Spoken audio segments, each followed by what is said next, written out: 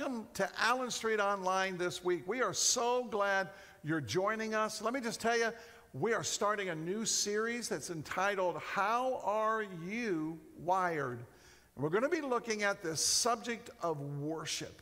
And it's probably going to surprise you. So let me just kind of get right to it. Our worship team is coming, and let's worship, and I'll be back in a few moments.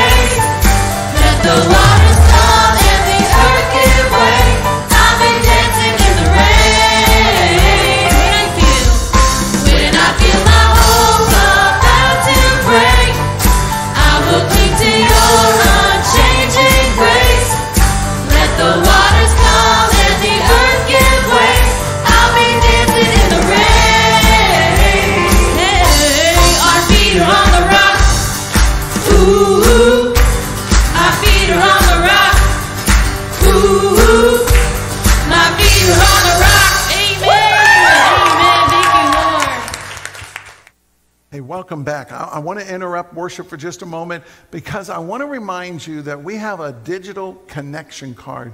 And what that does is allows us to know that you were here. You can also submit prayer requests. You can request information with it. So if you would, text the word connect, C O N N E C T, to 660 885 2127. You're going to get a response back on your device. Click on it and it will open up this digital connection card. And here's what I want you to know we would love to be able to send you a gift for just being here today.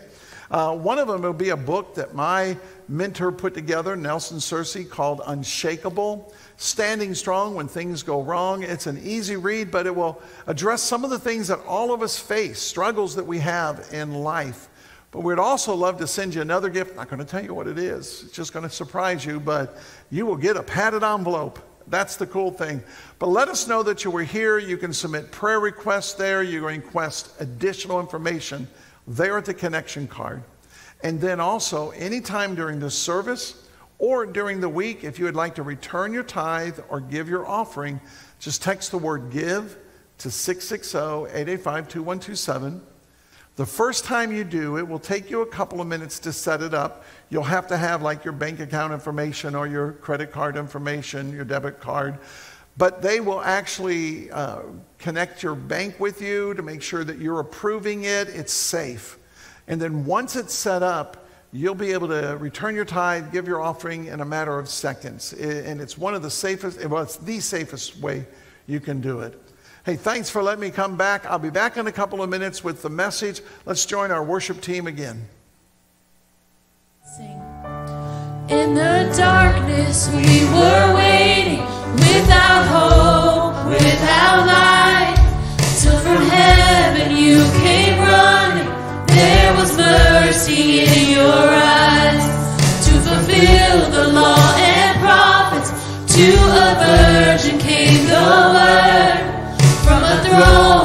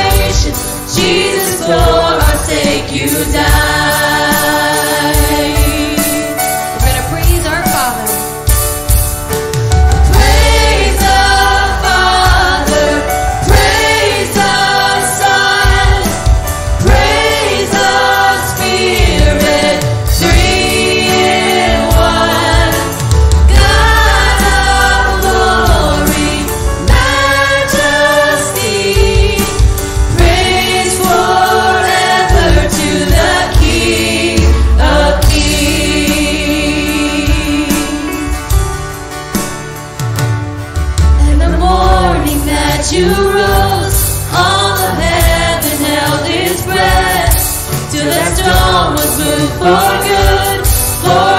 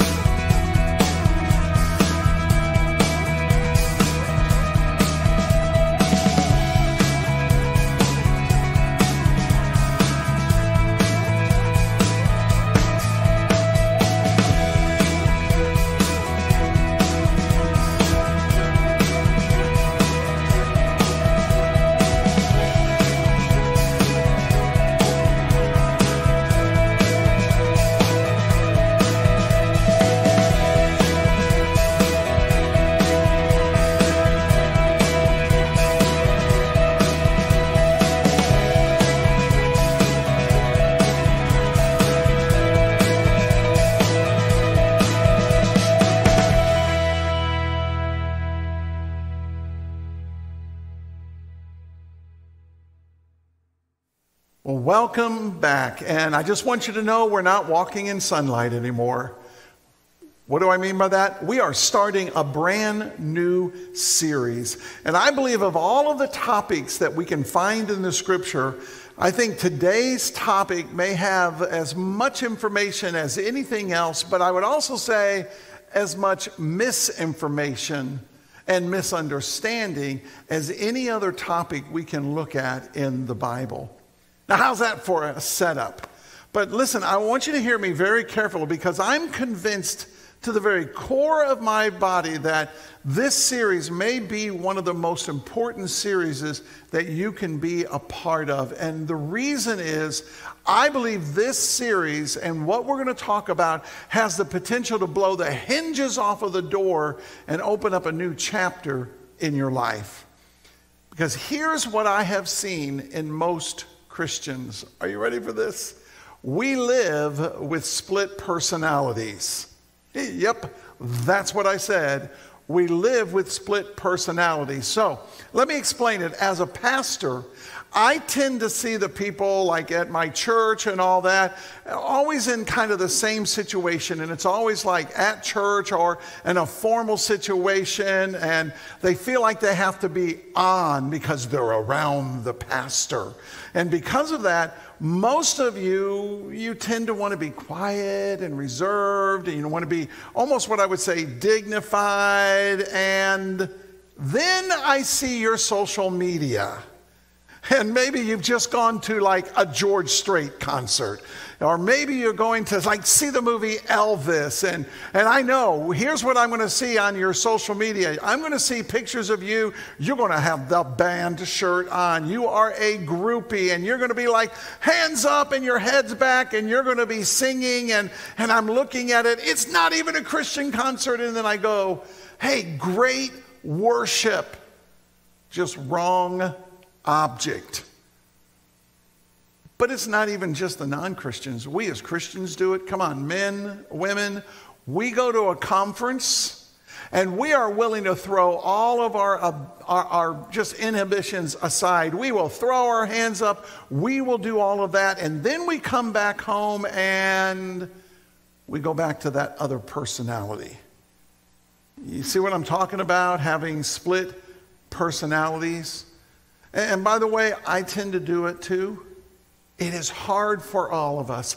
But here's what we have to understand we are wired to worship something. What we don't stop to consider is that, we're, we're, that we are literally wired to, without hesitation, show our adoration for the Creator. And what does it really mean to worship? And so, here at the beginning of this series, I want to give you what I would call just my operational definition of worship. And here it is Worship can be defined as, take a look, having an intense passion or esteem for a person, place, or thing. Having an intense passion or esteem for a person, place, or thing. In other words, we can worship God, but we can worship a whole lot of other things. So, in order for us to begin to learn what it means to worship, what I want to do over the next several weeks is we're going to begin to look at a couple of thoughts. And I would almost call them the big overarching truths uh, and principles about worship. And here, here are two of them what is worship and what is not worship? So let's talk about what worship is not for a moment. For example, worship is not manufactured, it's intrinsic. So now the question you got to ask is what does it mean to be intrinsic? Look at your screen. The definition means belonging to a thing by its very nature. In other words, belonging to the essential nature or constitution of a thing. It means it's a part of who you are. Music does not make you worship. The preaching does not make you worship. You worship because at the very core of who you are, is worship. But we suffer from a split personality. But here's the other thing it is not reserved for a certain group of people. You say, oh, listen, listen, I'm just kind of a different, and I know all those people over there, they worship, but I just don't do. Wrong. It's at the core of who you are. We are wired for worship, and because of our wiring, we got to know how to do it and how not to do it. And here's what I got to do I'm a people watcher you will find it very difficult for me to carry on a conversation with you if you take me to the mall because I'm looking at people. I just, I, am fascinated by seeing how people move about and react and all of that. And I see a lot of worshiping going on. Here's what I see I see people, they get a brand new car, and guess what they do? They worship that brand new car. Now, they don't bow down to it, but they're like, oh, look at my new car, isn't it great? I mean, I do it too. Or I see people worshiping like a dream home. I just got my dream home. This is where we're going to live forever. And how many of you know 10 years later you're under your next dream home? I see people worship like a certain look or a certain area or a certain like position or even a certain amount of money. The bottom line, there's a lot of worshiping going along, going on. But here's what you got to understand. Take a look at it. You cannot divorce humanity from worship. We're going to worship something. And here's why this series, and here's why I believe this is such an important series, is too much, too much of our worship is being wasted. Too many of us are wasting our worship. Look, all I got to do is look at your calendar, maybe ask a few friends, look at your bank account, and I can tell you what you're worshiping. And we can say things like this, oh, I worship God, or I worship Jesus, or I worship at like Allen Street, but, you know, talk is cheap. Because worship is intrinsic. And here's what that means it simply means this intrinsic simply means this it's an all encompassing activity. Worship should be a part of everything that you do because you're wired to worship. Now, here's something I want to ask you. Have you ever thought that about this? Worship is a competitive sport. There is competition for our worship. Now, I really ran into this when I began to read the story about Paul when he was at Mars Hill with the Epicureans and the Stoics and all that. The Apostle Paul finds them in Athens. It's a city that is literally littered with idols. And as Paul began to walk around, he began to teach about Jesus and the resurrection, and the Epicureans who were into pleasure, and the Stoics who were philosophers and they were into self discipline. They begin to get rattled by what Paul is teaching. So they invite this man of God to a place called Mars Hill. You know what Mars Hill literally means? It means the battleground of the gods or a place of competition. Now, let me kind of take an aside. When we read the Word of God, we often think, oh, Paul just showed up in Mars Hill, everything is going to be different. And the truth is, we're going to see a situation where nothing really changes. Because a writer talks about Athens 50 years later, and he says that 50 years later, it's easier to find a God than it is a human at Mars Hill. Here's why the population was only 10,000, and yet they had over 30,000 statues of idols that littered the sidewalks. And it was just like framed by the architecture of the, of the Pantheon and the Acropolis. And it was just this dazzling thing to the eyes but they didn't get it. Kind of like today. But the Apostle Paul walks around and he's looking at all of these thousands of different idols, and he notices one where the inscription says, To an unknown God. These Athenian men and women, they, they wanted to make sure they had everything covered. They had a God for everything. And just in case they might miss one, they had one that was inscribed to an unknown God. Well, Paul took that as an opportunity to capture their attention. And he gave these men and women kind of a microwave message. And what I want to do for a moment is just peer over the shoulders of Paul, and we're going to jump into his conversation almost mid sentence. Here's what he says Paul, wanting them to picture God against the background of all of these idols. he says, He is the God, this unknown God, He is the God who made the world and everything in it. Since he is the Lord of heaven and earth, he doesn't live in man made temples, and human hands cannot serve his needs, for he has no needs. He himself gives life and breath to everything, and he satisfies every need. Now, it would have been very easy for Paul to just go in for the kill. But he gives us a lesson that I think all of us need to learn because how often, as Christians, is the first thing that we do is we start going after somebody where they're struggling. We start attacking the sin that they have and the problems that they have. And of course, it's not one that we struggle with, but they struggle with. And so rather than starting where they are, like Paul just did, we go in for the kill. Well, at Allen Street, one of our core values is this we're going to be known for what we are for, not what we're against. And we are for Jesus. And we are for how Jesus described the greatest commandment when he said, Love one another. Now, what Paul shares to us may not sound all that life changing, but it was because it challenged everything that they believed his message made brilliant application by starting right where they are, the unknown God. Now, that word unknown is the root from which we get the word agnosticism, which literally means without knowledge. So, guess what? One of the claims of the Athenians were they knew everything.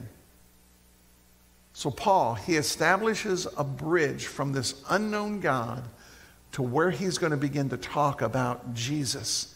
And having established this bridge, Paul now begins giving the Athenians a dose of spiritual truth.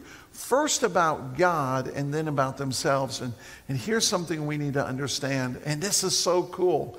Truth about God should always help us understand ourselves better. Truth about God should affect us.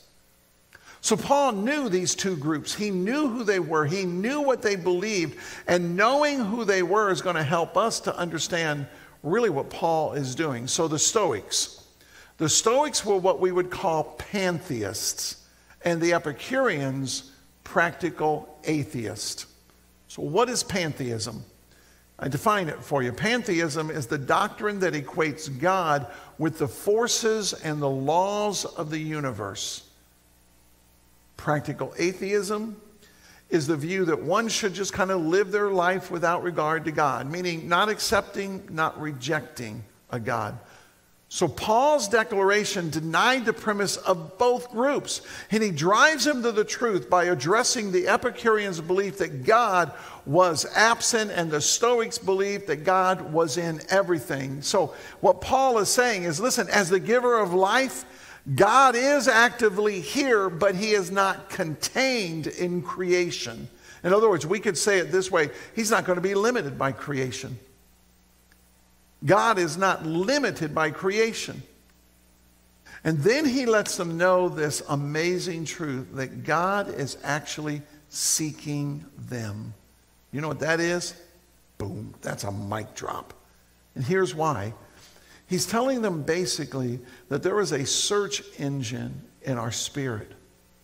And we are going to grope and we're going to seek and we're going to try to find some person, some place, something to worship because we're trying to quench that desire that we have to worship something. We, we've just been going from one thing to another and, and we end up wasting our worship.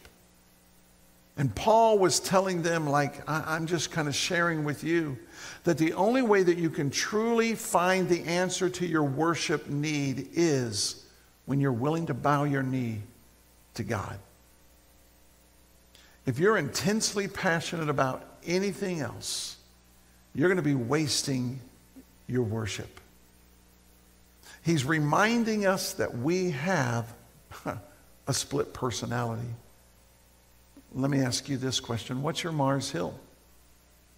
In other words, what is that thing that is competing with your worship?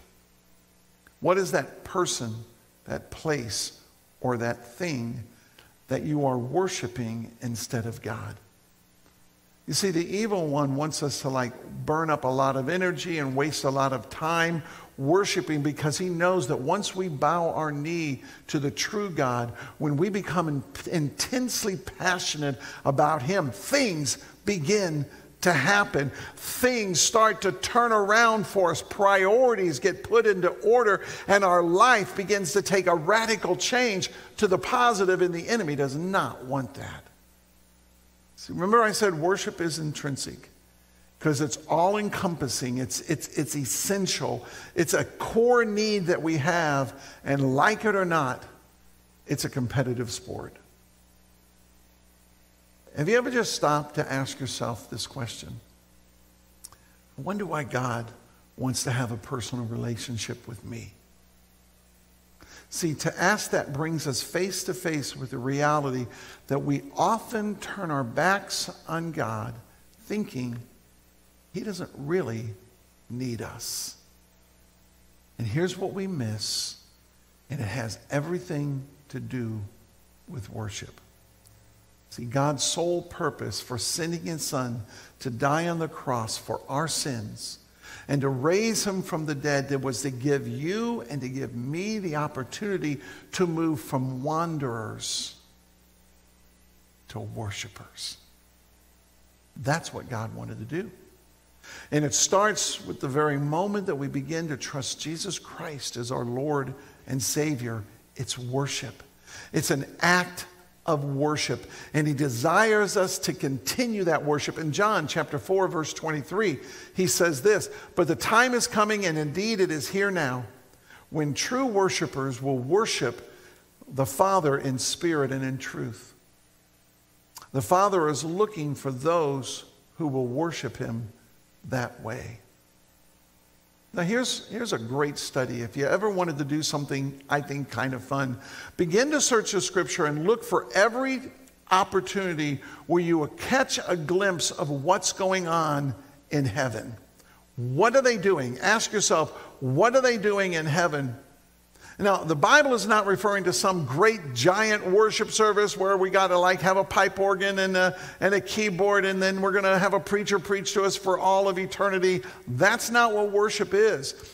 But in heaven, every activity, every thought, every goal will be perfect, but it will have behind it a passion of praise and worship for God. You see, the Bible actually talks, though, about another place hell. And some are going to face a Christless eternity without God. Now, God does not send you to hell. We make that choice. It's our call when we reject Jesus Christ.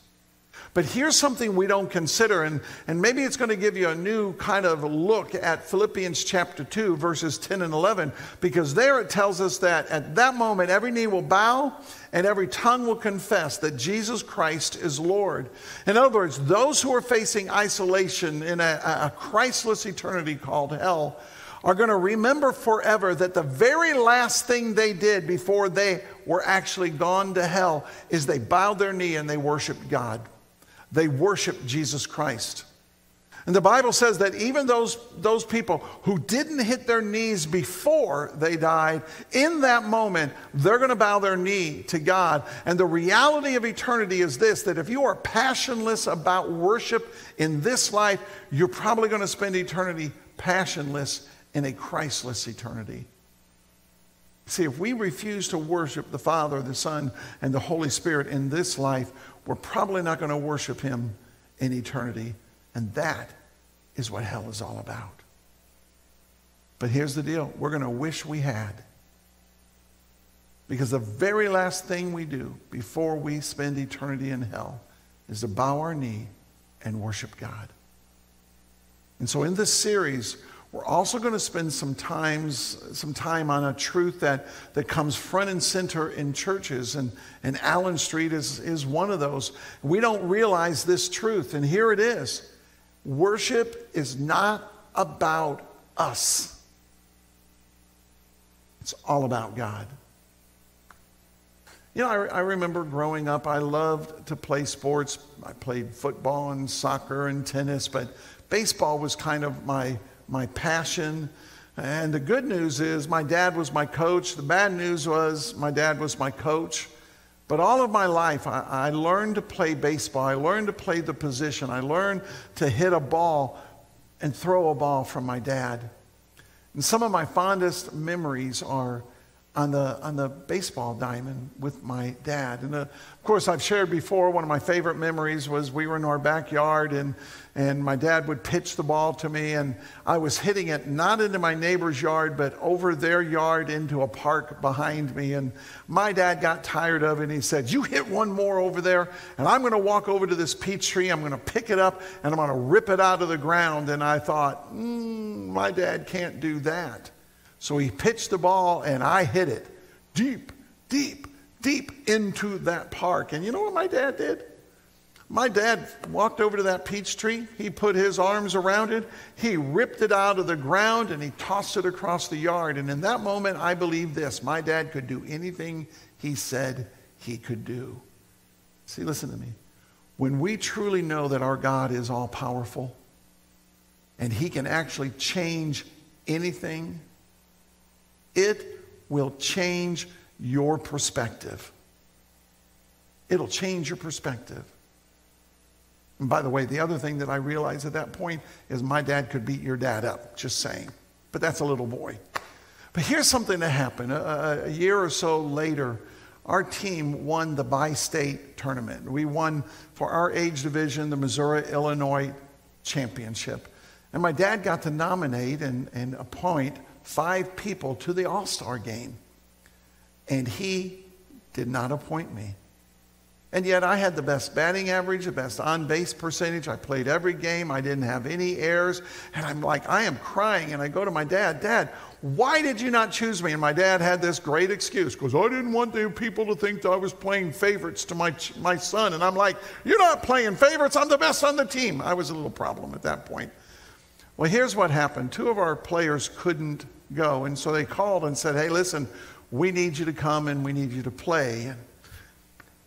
Here's the deal, though my dad was not going to be my coach. For the first time in my life, my dad was not going to be sitting on that bench with me. We arrive at the field, it's a college field, and there are literally thousands of people in the stands. And when I walked onto that field, I did not care a thing about those thousands of fans. I was looking for one person. I was looking for my father. And when we locked eyes, I got a little emotional as I thought about all the hours that he and I had spent playing ball. I thought about all the times that we traveled, all the things that we had done together for that moment. In that moment, I only cared about pleasing, I only cared about playing well, performing for one person, and that was my Father. You see, that's what worship is.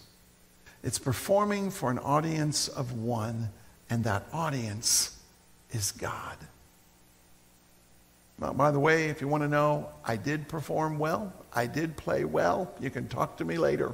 It was incredible, just saying. You see, here's what we need to understand church should not be a time when we rate everything that goes on. And you know what I'm talking about. Oh, that message was a four out of a 10. Now, I know around here, the problem is not thinking, is it a four out of 10? It's like, well, was it a 10, 11, or a 12? Just saying. Oh, that music was incredible. Oh, man, it made, it brought a tear to my eye. It had a, a shiver down my back. I mean, it was incredible. Here's what we got to remember it's not about you, it's about God. And here's what we should be asking ourselves each and every time we come to worship. Is my performance, both in church and in life, is my activities, what I'm doing and what I'm saying, is it pleasing to God? You see, so often it's easy to shift the focus of our worship from God to what God does for us. And suddenly we think God is here for our benefit instead of the other way around. I, I, love what I heard years and years ago. One of the speakers that I heard said this We go to church and we order a BLT. And we get our BLT and we sit down and in our humanness, we sit down in our selfishness and we begin to munch on our BLT. Now, what do I mean? We do this bless God. God, oh, I worship you because you bless me. God, you just, well, man, you just bless me. I serve a God who blesses me. In other words, it's all about me. The L. Oh, God, I'm going to worship you because you love me. God, you just love me. Oh, I just can't imagine. It's all about me. God, you love me. And the T. Oh, God, God, I thank you that you take care of me. You don't let anything bad happen to me. God, I'm going to worship you because you take care of me. It's all about my BLT. I want you to hear me. Those things are true. God does bless us. God, God does love us. God does take care of us. But those are not what we worship. Those should be the things that drive us to worship the one who does bless us and who does take care of us and who does love us. And listen to me, if you don't think I struggle with it, and if you don't think we struggle with it, you are sadly mistaken because too often, here's what we think we think that our worship is about. Well, how did I sing? how were the harmonies? How did I play? I wonder if they got the message. I don't know how I preach. I mean, it's easy for us to do that. Oh, God, you're here, but you're here to benefit me. And it's so much more than that. And let me just talk to some Christians for a moment. If you're a Christian and you attend Allen Street, listen, you should not come to Allen Street to worship. If you come to Allen Street to worship, you've missed it. What? Okay, preacher, how then should we come? Well, I'm glad you asked. You should come to Allen Street worshiping. Already worshiping. See, if this is the only time that you come and you worship, you are starving yourself to death. I have to worship. You need to worship God every single day of our life.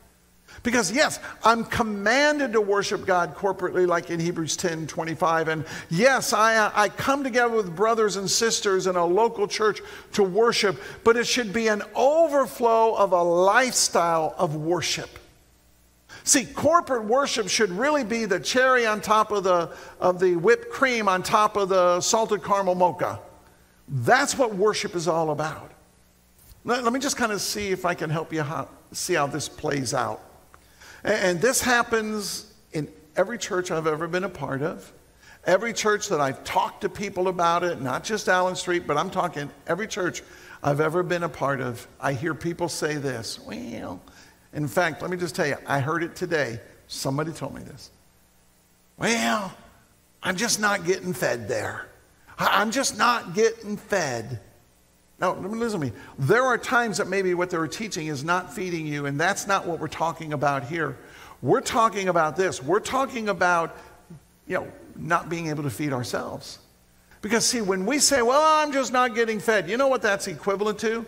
That's the equivalent of lighting up a big old billboard that says this Hey, oh, I don't know how to feed myself. I'm just a baby. I'm just a, my pampers are wet and, and I need some Gerber. And, and I go to church and I have people feed me and I get mashed up beets and peaches on my face and, and, and I cry when my diapers are wet.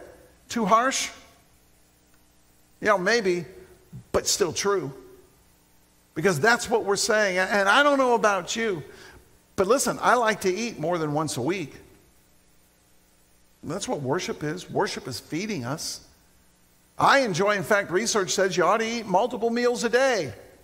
What, what a unique opportunity. Uh, ever thought about that? Eat a morning, an afternoon, an evening meal.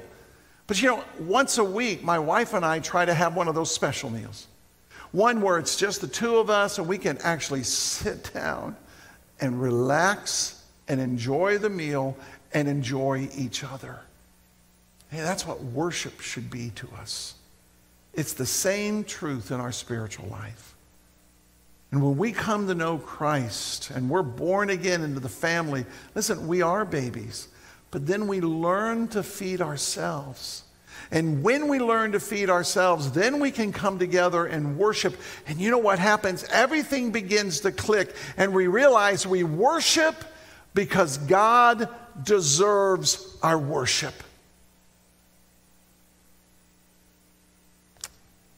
When God looks at me as a Christ follower, you know what he should see? He should see his glory reflected in me. He should see his grace reflected back to him. He should see his majesty reflected back to him. He should see his sovereignty, his power reflected back to him because worship is not about me. Worship is about him. And worship is not passive, it is active. And here's why I believe we have a split personality when it comes to worship. We have carried the world into our worship. You know what I mean by that? We live in a spectator driven society. Anybody know what I'm talking about? When we don't like something, we change the channel. We rate things. Oh, that was a good one. That was a bad one. Don't want to watch that again. Oh, I would never do that right. And here's, here's our problem we miss what worship is all about. You, you want to do a study? Here would be a great study for you to do. Begin to read the Psalms, and as you read the Psalms, begin listing the words that the psalmist used for active worship. I want to give you an example.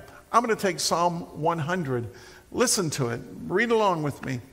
Shout joyfully to the Lord, all the earth. Serve the Lord with gladness. Come before him with singing. Know that the Lord himself is God. It is he who has made us and not we ourselves. We are his people and the sheep of his pasture. Enter his gates with thanksgiving and his courts with praise. Give thanks to him and bless his name. For the Lord is good, his loving kindness is everlasting, and his faithfulness is to all generations. Do you see him? It's words like shout and serve and come and know and enter and give and bless. Worship is active, and God deserves my worship.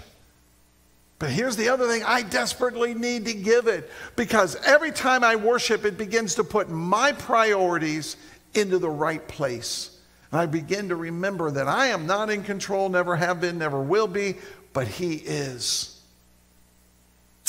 I was writing this message. I was actually sitting in my camper at the Bucksaw campground with deer frolicking across the way. I could hear the gaggle of geese in the background, the sounds of nature. And this thought came to me. Look, look at your screen. What is God's biggest competitor for worship? What is God's biggest competition?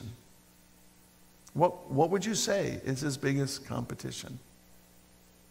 And here's what I believe it boiled down to. Look at it ourselves. Self worship. Our wants, our needs, and a whole bunch more. Worship is not about us, it's about God. And throughout this series, we're going to be focusing on the truth that worship is a lifestyle, a lifestyle we begin to adopt and we begin to live. And we can come to church and we can shed tears and we can lift our hands and we can kneel and we can sing, but Listen to me, if worship does not involve life change, if worship does not transcend into our marriage or our dating relationship, if worship does not flow into our parenting and our skills and our, our priorities and our thoughts and our activity and our vocabulary and the places we go, it's not real worship. We're missing it. So here is the big takeaway for today. Are you ready? Here it is. Knowing what I now know, how then should I begin to live this out? See, here's what I want I want you to begin to declare war over your worship. I want you to begin to ruthlessly remove those idols which reside on your Mars Hill, those things that compete for, that make you waste your worship. Are you willing to pray a high risk prayer that says this God, I want to serve you and worship you only? Whatever that means, God, change me to live a worship lifestyle. And when you do that, what you will discover, you will discover the true meaning and the true purpose and the true reality of worship.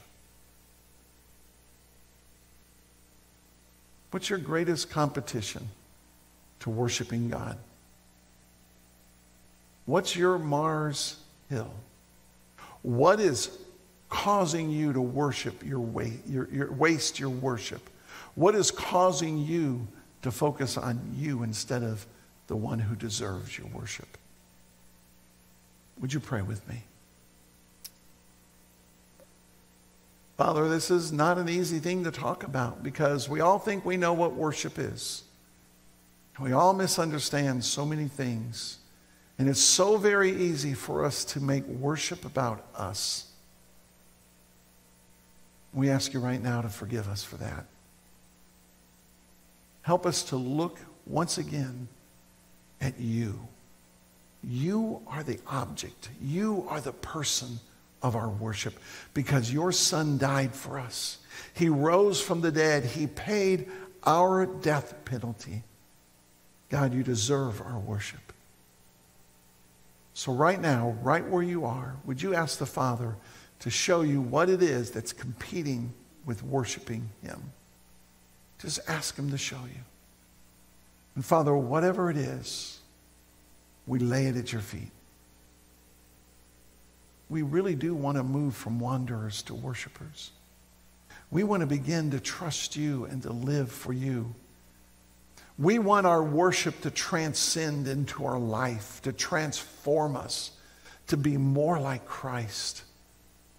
Because, Father, we admit our, our lives are messed up at best.